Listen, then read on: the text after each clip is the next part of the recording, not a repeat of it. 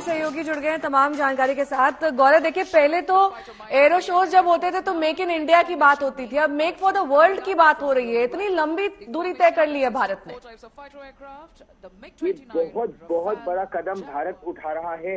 जिस तरह से मेक इन इंडिया को मेक फॉर द वर्ल्ड कह रहा है भारत, और अब केवल एक जमाना था जब हम आयात करते थे युद्ध के सारे साजो सामान का। अब न केवल भारत बना रहा है, भारतीय सेनाओं के लिए बल्कि उसको निर्यात करने के लिए और जैसा मंजीत बता रहे थे इसका सबसे सफल उदाहरण ब्रह्मोस सुपरसोनिक क्रूज मिसाइल है। ये दुनिया की सबसे तेज वार करने वाली अचूक आवाज़ की गति से कई गुना तेज सुपरसोनिक मिसाइल है जिसको इंटरसेप्ट करना लगभग असंभव है। और इसका जो एयर लॉन्च वर्जन है इसका इसके कई कई वर्जन बन रहे हैं और और देशों को इसे निर्यात भी किया जा रहा है। वो देश खरीदना चाहते हैं जिन पर teen 20 getrap. बहुत बड़ा है। लेकिन केवल ये मिसाइलों की बात नहीं है।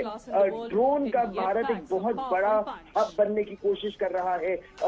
मेक इन इंडिया के तहत स्वम ड्रोन टेक्नोलॉजी के की बात भारत कर रहा है। और अत्याधुनिक लेजर विमान जो आगे के युद्ध में जिनकी अभी आप केवल कल्पना भर कर रहे हैं जिस तरह के हथियारों की उस तरह के हथियारों को बनाने की बात भारत यहाँ पर कर रहा है। और दुनिया के और देश इसमें हिस्सा भी लेना चाहते हैं अगर हम ब्रिटेन जैसे देशों की बात करें तो वो और आगे आना चाहते हैं। फ्रांस जैसे देश है जो भारत के साथ साझा टेक्नोलॉजी शेयर करके और हथियार बनाने की बात कर रहे हैं। तो ये भारत की एक नई शक्ति को दिखाता है निगाह